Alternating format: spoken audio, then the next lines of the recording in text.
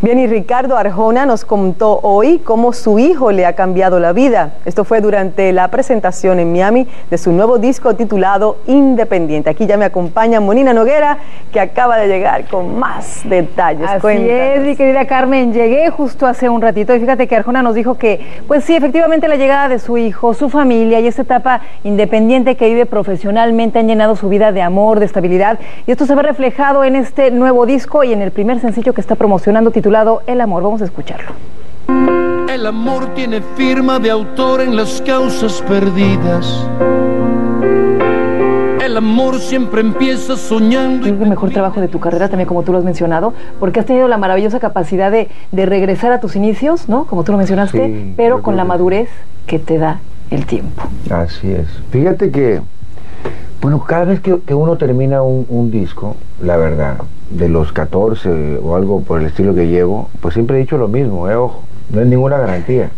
Porque uno lo tiene fresco, uno acaba de salir del estudio, tiene el disco fresco y piensa que es el mejor trabajo de su carrera. Este disco, lo cierto es que es el disco en el que más he trabajado. Este disco pasó por, por unas rachas, por un electrocardiograma rarísimo, las emociones van por un lado y por el otro. A mí siempre me pasa en todos los discos. Hay, hay mañanas en las que me despierto pensando que tengo el mejor disco de mi vida y hay otras noches en las que me acuesto pensando que es el peor disco que he hecho en toda mi carrera. Por ejemplo, en el caso de, de la canción El Amor que está en este disco, cuando yo eh, descubro el amor es un acto profundo de fe que huele a mentira, yo sé que hay una canción.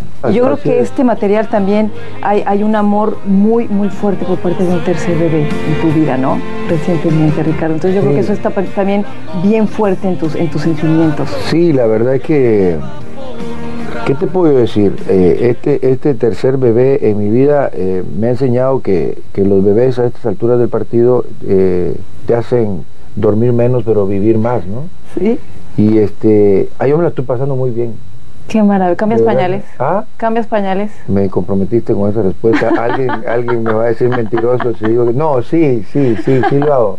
Yo creo que Sí. Tienes cara de que sí. Yo, yo, no siempre, eh, ojo, no soy.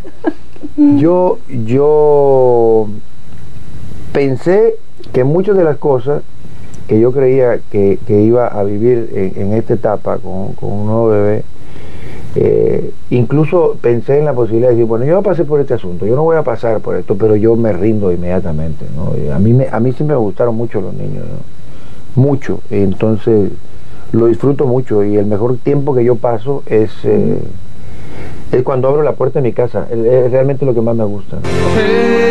El amor es la belleza. Moni, sabemos que este disco Arjona también se lanza como empresario. ¿Cómo fue eso? Sí, fíjate que este disco fue completamente eh, producido por la compañía disquera del propio Arjona. Se llama Metamorfosis y donde se lanza a crear sus proyectos de manera independiente ya completamente y pensando a futuro para apoyar nuevos talentos. Así que a ver cómo le va. Le deseamos toda la suerte, mi Claro que Ricardo. sí. Está más guapo que nunca.